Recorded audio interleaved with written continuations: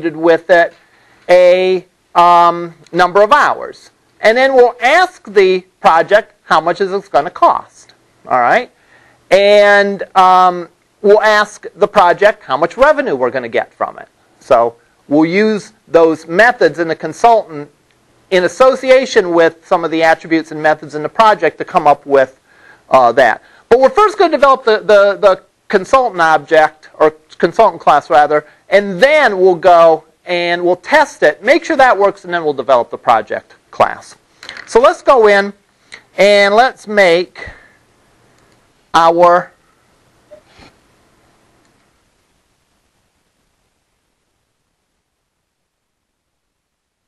project class.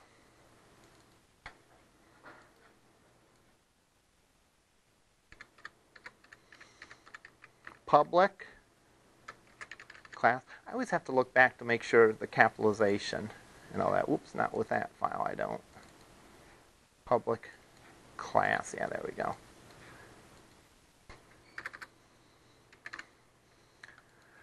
Consultant.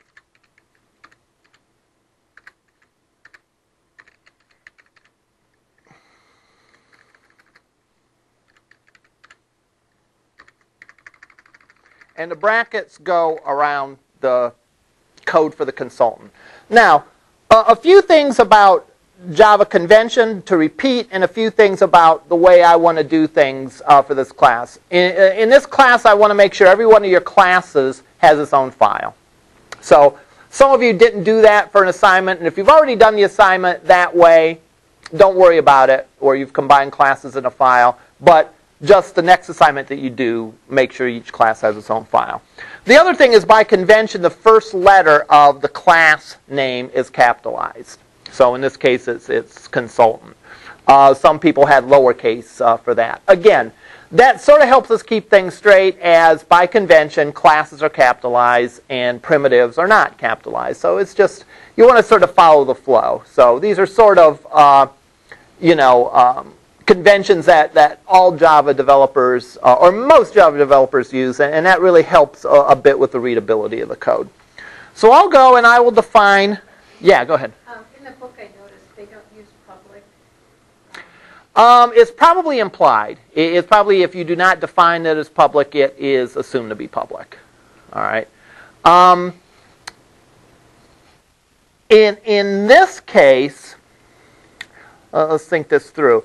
In this case, um, there really wouldn't be much of a point to make a class that would be private because then no one could use it. You know, um, I'm, I'm, trying to think. You know, this sort of class you wouldn't make private because the whole point of this class is that that um, other classes are going to use it, and, and it's going to be a com our component that we're going to plug in wherever we need a consultant. So it might be a situation where you want a private class. Later on, we'll talk about some inner classes and all that, um, like to handle events uh, in a GUI. Those might be private because um, the outside world isn't going to address them, but within a class, you may access some of these others. At, at any rate, um, uh, that, that's a good question. Uh, that, I'm sure that's probably the, the default, and, and again, um, you know, it doesn't hurt to explicitly say it. All right.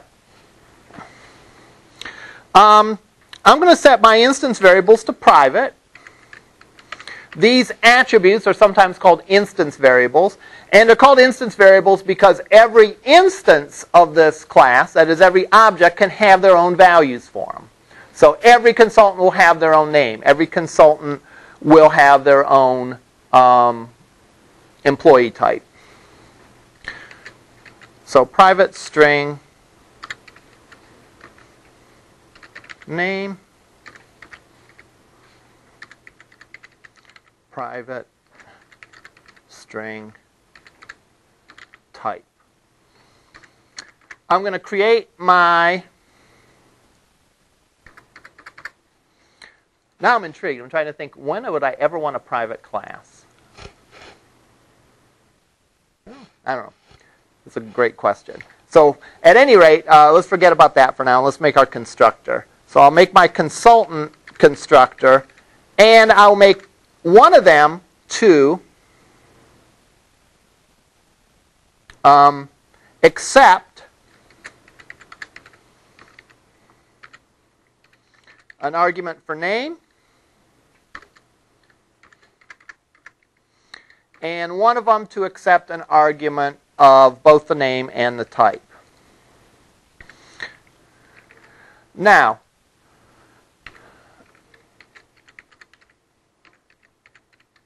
one thing that I often do when I develop uh, code is I will write out all the what are called signatures of the functions first. By signature of the function, I mean what it's calling, uh, uh, uh, what, what is called rather, the name of the function, what arguments are passed to it, and the return values. Because I may have one function use another function, so I want to sort of define all my functions first. I may, in some cases, even create a stub function. And what a stub function is, is just essentially where you, you don't write the whole function, you just maybe uh, hard code a value in that later on you're actually going to calculate. So for example, my get wage rate function. I know that that depends on the type, but to start out, I might just return 30 as the wage rate.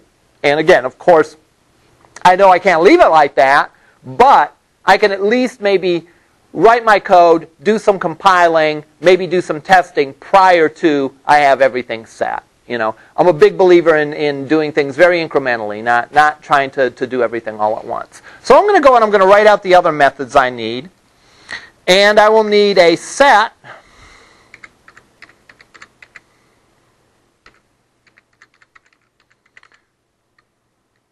set name that will accept a arg.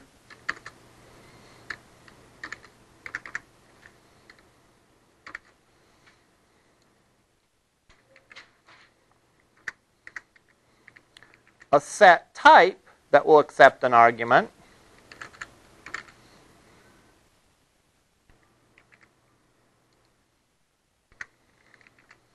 A get type that will return a string and will have no argument.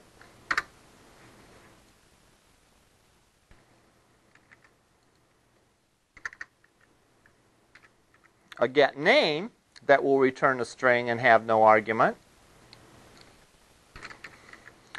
Then finally, the two methods that um, do calculation, a public double get pay rate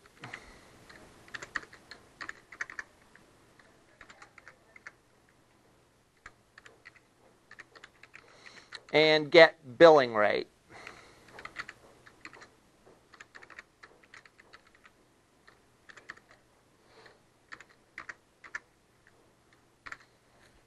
All right.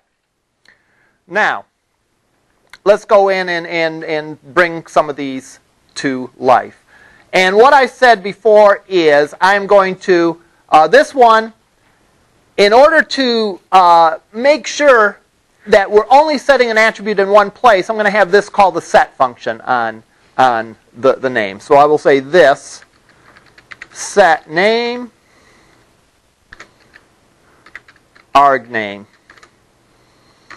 Again, the benefit of this is if there is some sort of validation that we're going to put up where we're going to throw an exception. Not necessarily with name. I guess we could validate for there to be an not be an empty string or something like that. But for type, maybe, whereas you know it has to be one of those allowable values, all we have to do is have that code that tests that in one place. So even down here, where I, I have the constructor to set both of them,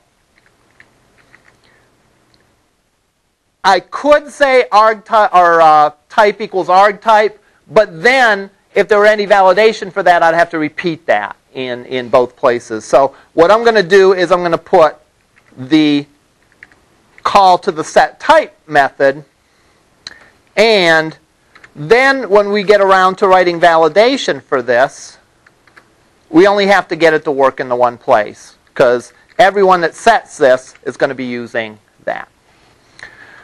But valuation, uh, but validation is a little bit down the road, so we're not uh, going to do that right now.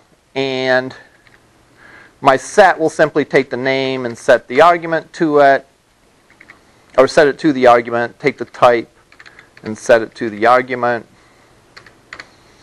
The gets are simply going to return those.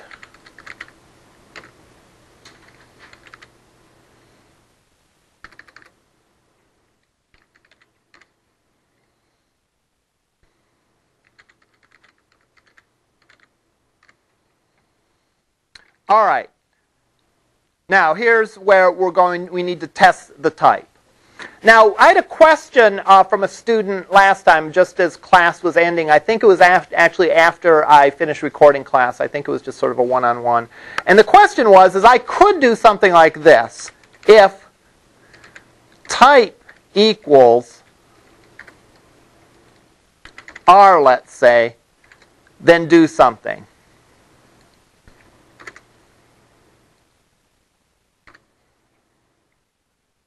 And the question was made, do I want this method to uh, uh, um, use the attribute or do I want to have it go through the get method?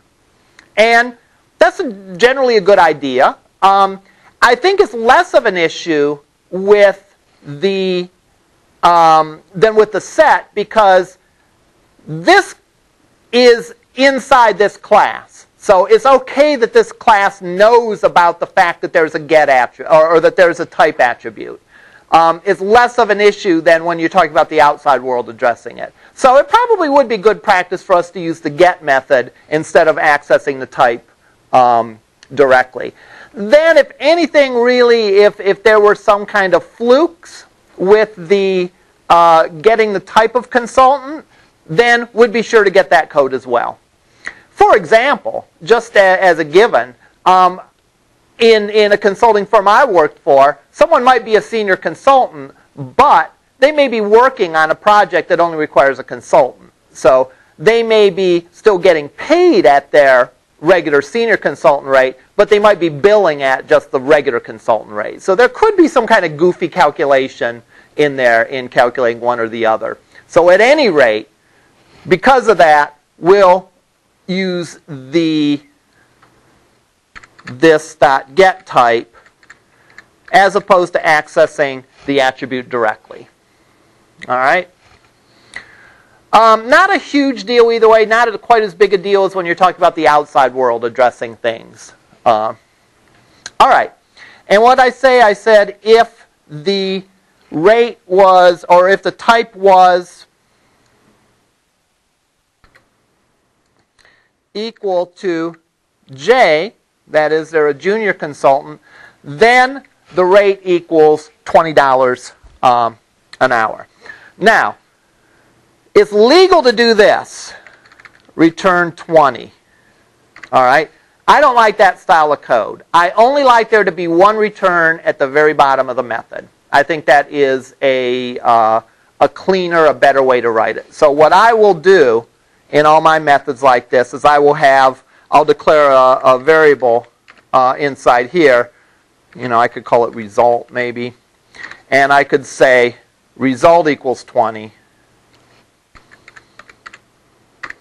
And then at the very end, I'll return the result.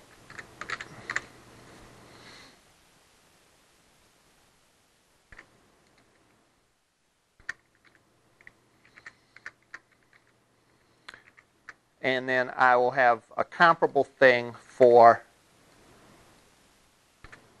the other two consultant types. I do realize that I made a mistake up here in this constructor. I, I feel like I'm a little tongue-tied and addle-brained today, so uh, bear with me a bit. One mistake that I make here. If you remember, I said if there was no type uh, defined, I would want to default the type to regular consultant. So I should say in this case, this dot set type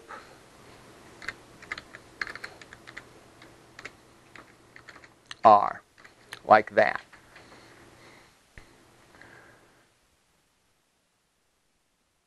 Now let's think this through. This guarantees that for every consultant object that I create, the name and the type will both be populated, right?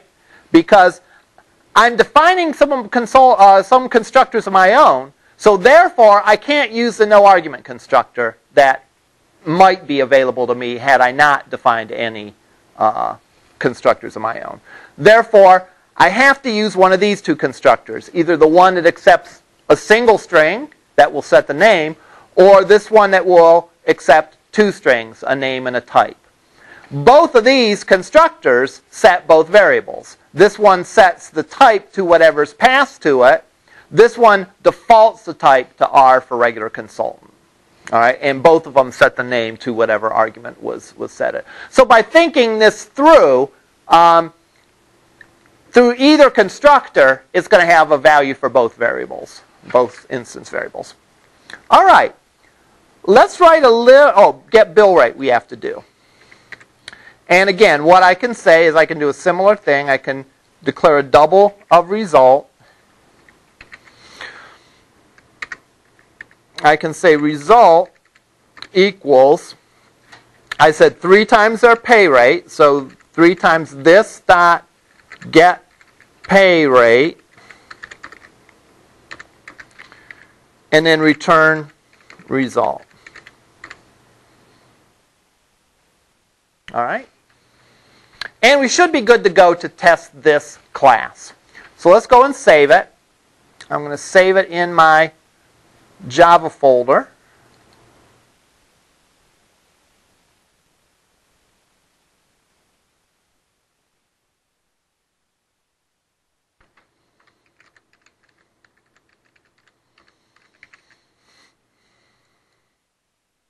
All right. Then I'm going to create a test class that I'll use for various purposes throughout this. And I'll call it test Java.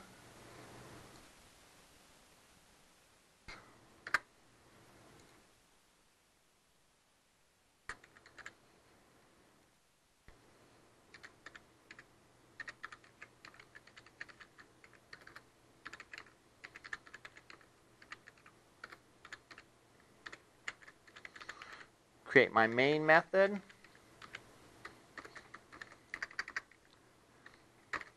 And what I'm going to do is I'm going to define some test cases here.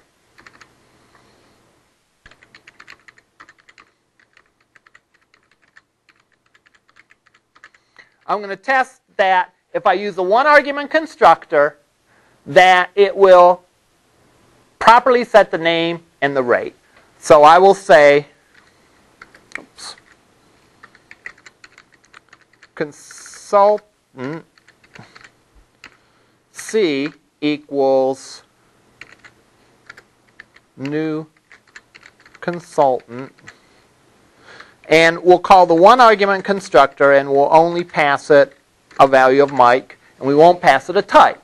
Now we know from the constructor that it's going to default the type to R.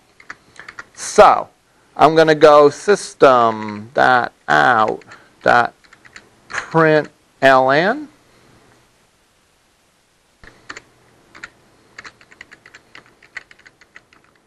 Test case 1.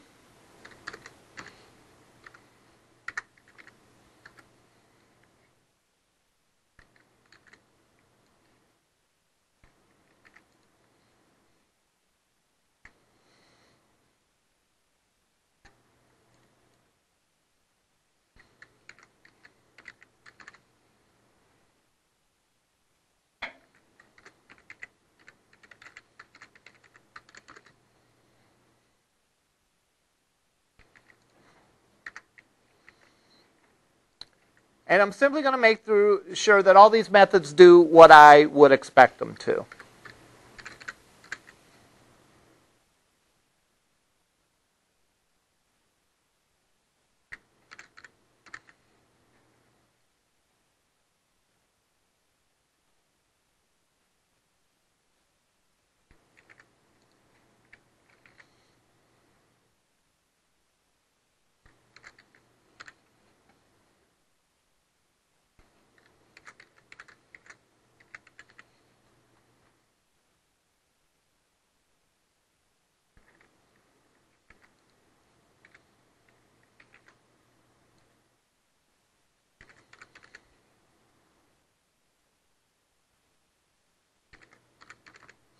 All right.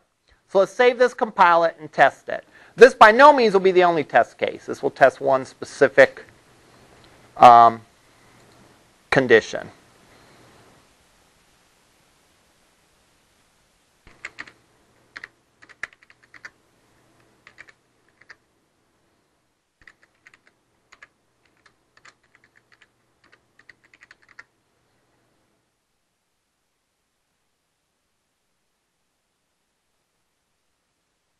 All right. Return result may have not have been initialized. Okay, that should be easy enough to take.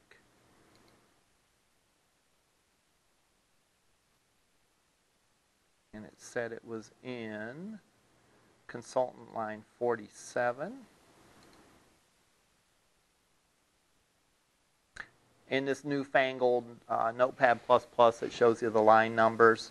You can also go in and put the status bar in and find line 47, which is down here. And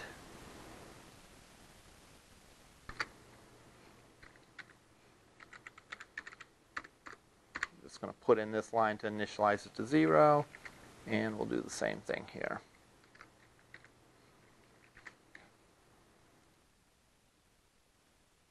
Actually, we don't need to do that there.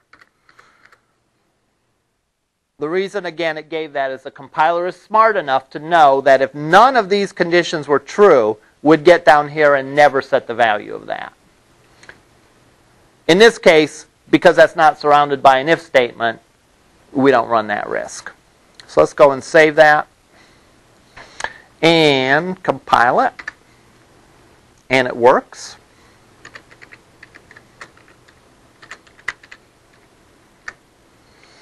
All right. Test case one, name is Mike.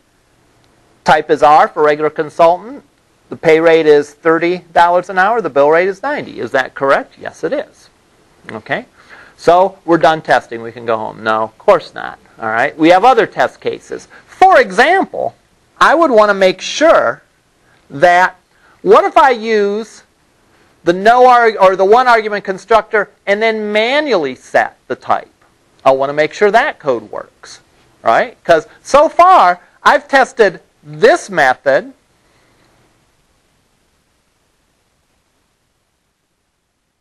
Let's see. And that tests some of these other methods, and then I've tested this one. I want to make sure I cover all the possible conditions.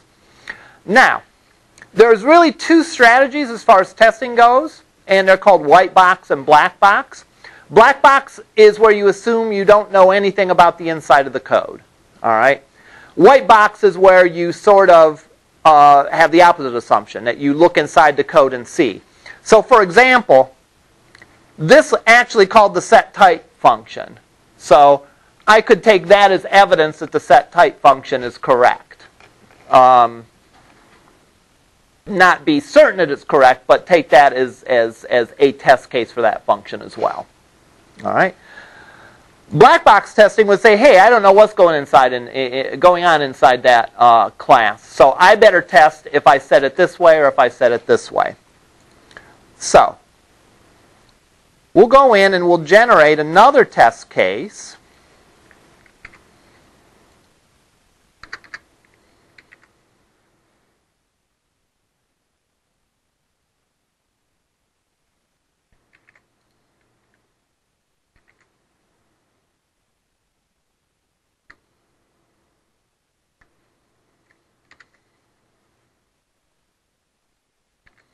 Where I create a second object. And in addition to initializing it this way, I will manually go and set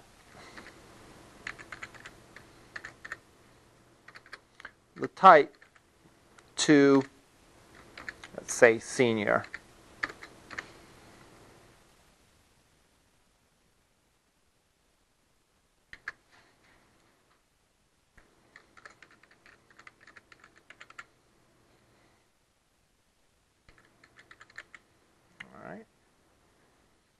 then I'll go and compile this.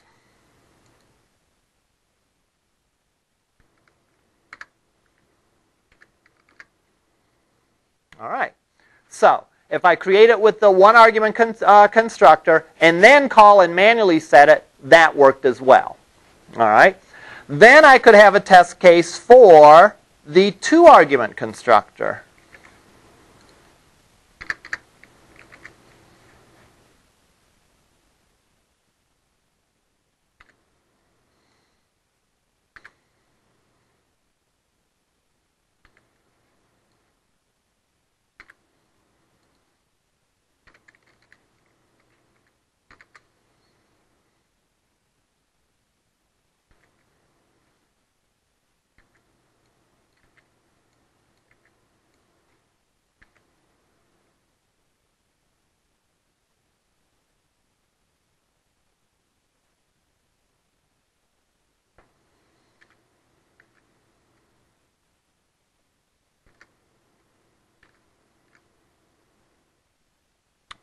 My little blank line in between them.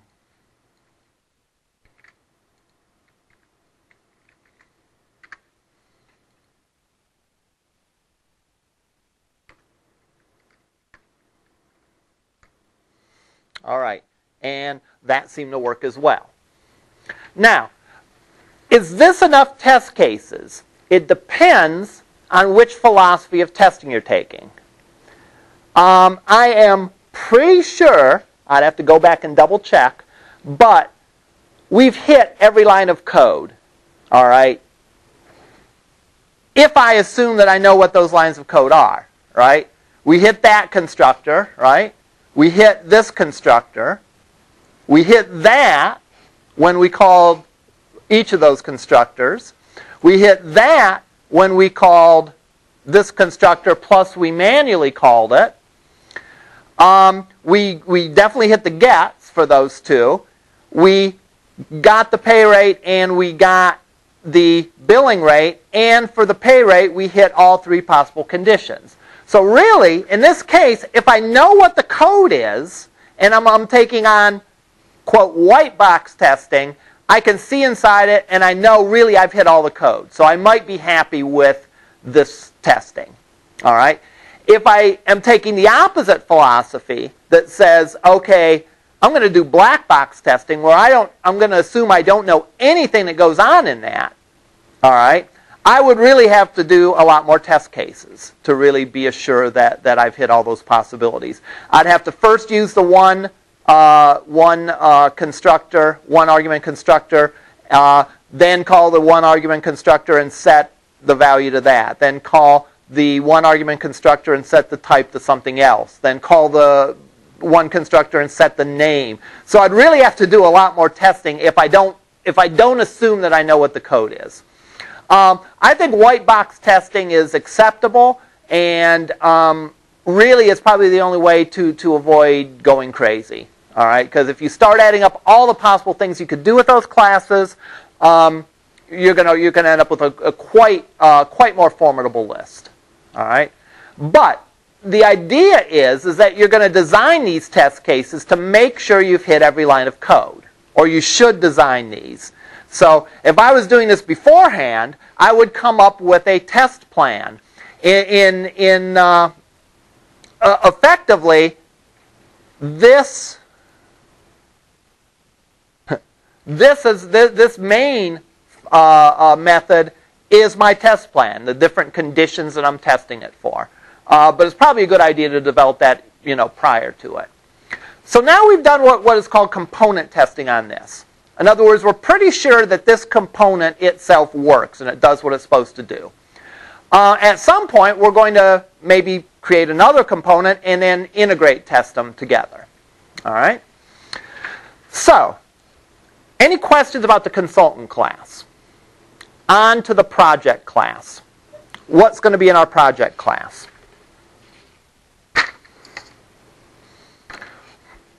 Our project class is going to have three instance variables. It's going to have a double for the number of hours the project is for. It's going to have a string for the customer name. And it will have a consultant that's going to be working this particular um, project. All right. Again, we're uh, we're making some assumptions here, uh, and again, we talked about refactoring and how we could take and improve this and make it better.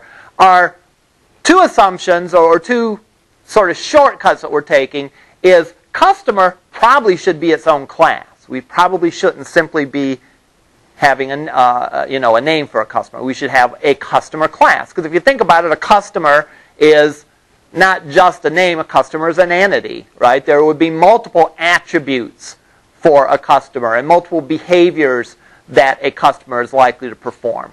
All right? But in the interest of, of simplifying it, we're just gonna we're just gonna keep track of the customer's name. The other thing is is there could very well be more than one consultant uh, on a project. And again, we're, we're making that assumption that there's only one, just to simplify things. But at some point, we can possibly go back and, and, and, and look at that. All right, and, and add so that there could be multiple consultants for the project. All right, I'm going to make only one constructor. All right, and if you think about it,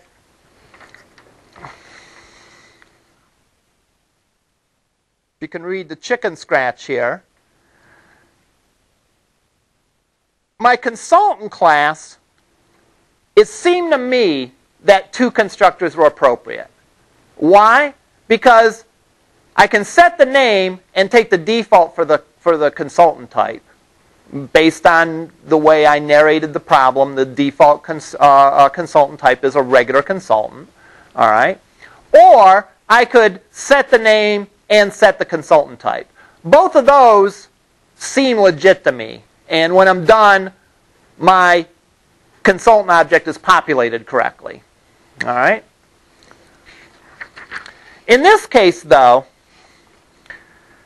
I can't really assume a default number of hours for a project. I can't really assume a default customer for a project. And I really can't assume a default consultant for an object, uh, uh for, for this object, for this project. So it really doesn't make sense to me to create this um, and set defaults. Now I could do a couple of things. I, I could create a, a, no argument constructor and they, they, would have to fill in those when they were known. And I could do that. Uh, but uh, what I'm going to do is I'm going to create simply one constructor for this that will accept all three arguments. Now, what are the arguments? I'm going to have an argument that's a double for the hours, a, a um, string for the customer, and a consultant object for the consultant. All right? So, I can pass to and I can pass an argument to a function that isn't a primitive like a double, all right? But itself is an object reference. Now, remember though, the way the object reference works. That is, it's going to create a pointer, and it's going to pass a pointer to this uh, function. And so we're, we're, we're not, it's not like with doubles. All right, it is, it is uh, not passing the actual data, it's passing a pointer to the data. All right. I will then have a variety of get and set methods on this to get and set each of these attributes individually. I want to kind of get to a certain point in this uh, project today, so I may omit those today, and we'll fill in those uh, at some future time. They're, they're, they're pretty non-exciting uh, uh functions. All right, I don't think you're gonna you're gonna miss much by not seeing them. If you want to, in the you know, if you really uh, you know want to dot the T's and cross the I's, you could uh, go in and fill in these methods yourself, the gets and sets. But what, I'm, what I am going to do is I'm going to create two functions um, to calculate how much revenue my consulting company is going to get and calculate how much um, what wages I'm going to pay my consultant, right? So, how do we calculate how much revenue we're going to get for this project? Well, We know the hours, right? And how much is the customer going to pay per hour? They're going to pay the consultant's billing rate per hour. So, to calculate revenue, we're going to take hours time the consultant's billing rate. So that's the revenue for this uh, project. What's the cost of this project or the expense for this project? It'll be the hours times the wage rate for that um, consultant. I could then do calculate gross profit, which would simply be the revenue minus expenses. This is a case of delegation. All right? In other words, the project class delegates a piece of that calculation to another object. In other words, the project class knows what the hours are associated with it, and it asks the other object, G, what's your billing rate? G, what's your wage rate? And then it does the calculation. Um, we talked about different ways that classes can relate to each other. Uh, I've heard a number of different terms uh, described. Um, this is an example of associ- I've heard it called association, where this associates with that. All right. Uh, delegation, because the, the project is delegating part of the calculation to the other class. In, in just English terms, the project has a consultant. Now, next week or at whatever point we start talking about inheritance relationships, we'll see that the wording is going to be different. We're going to say there's an is a relationship. Maybe a specialist is a consultant, but they're a special consultant, right? They maybe get paid differently, or maybe they, their billing rate is calculated differently. All right? But a project is not a consultant, and a consultant is not a project. They simply use each other. A consultant is used on a project. So this is one way of these classes relating to each other or communicating, or however you want to say, association. So let's go and let's build this, and let's build at least one test case. So, I'm going to I'm going to actually leave this test Java as it is, all right? This is not real code that's going to go into my application. It's just sort of a unit test. I'm actually going to make another test uh, class to test the, the project and the consultant together. So let's go in and let's create our project class.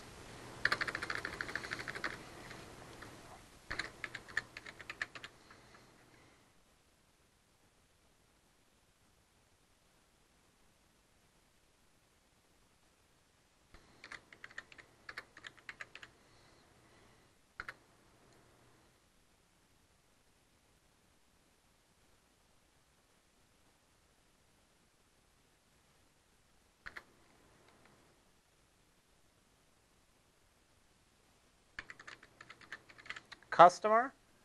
Um,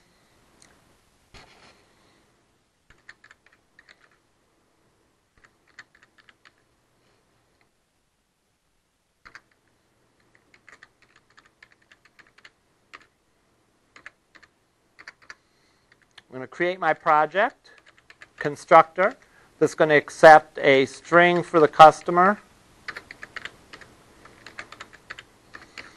a double for the hours.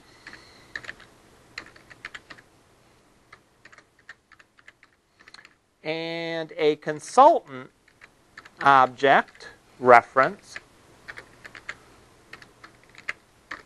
for the consultant.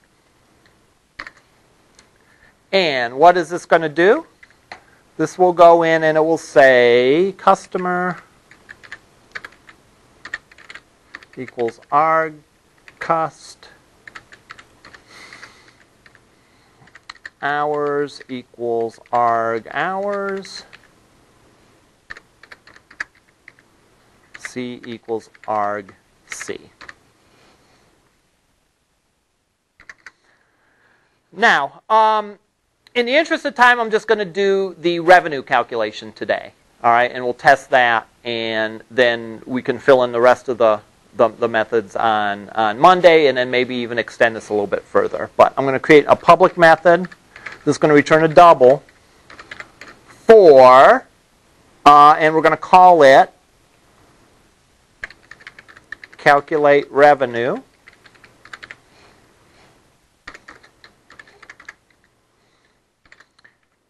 And I'm going to say double result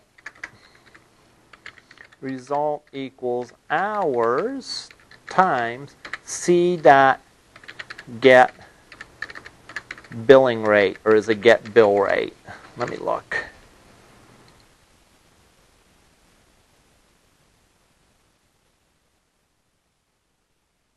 Get bill rate.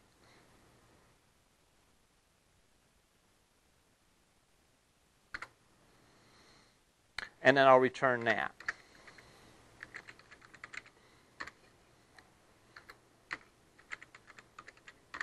All right.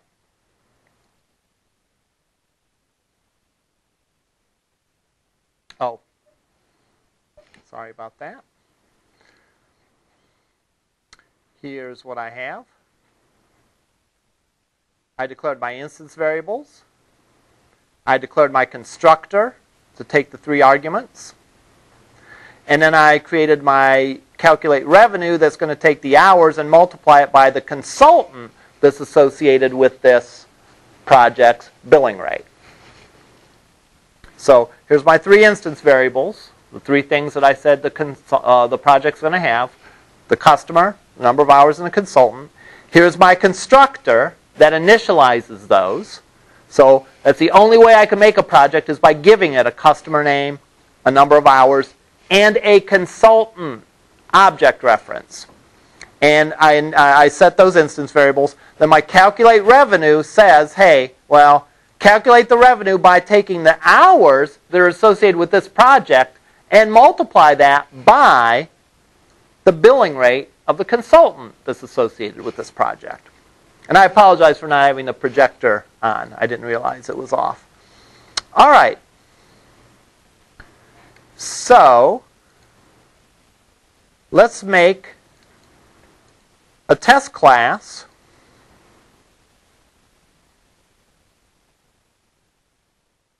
to test this.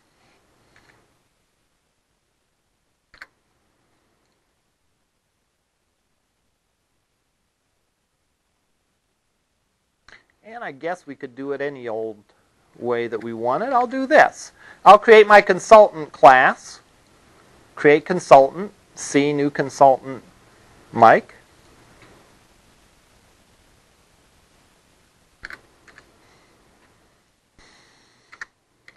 I will create my project.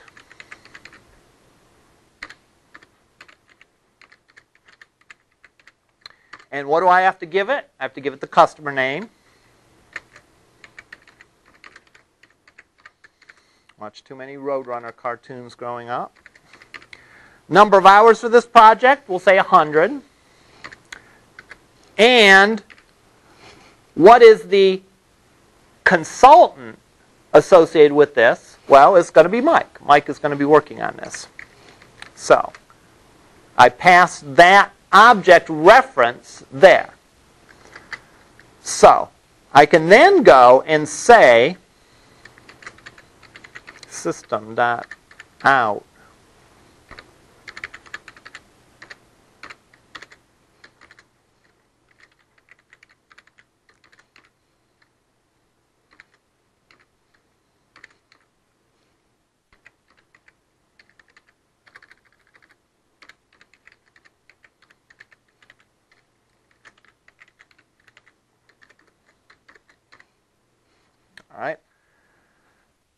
Let's see if this works. Thank you. Thanks.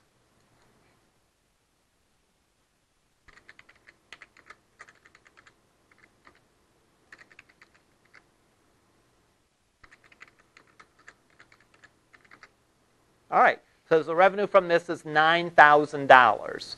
Is that correct? Well, the revenue is $100 times whatever the consultant's um, billing rate is.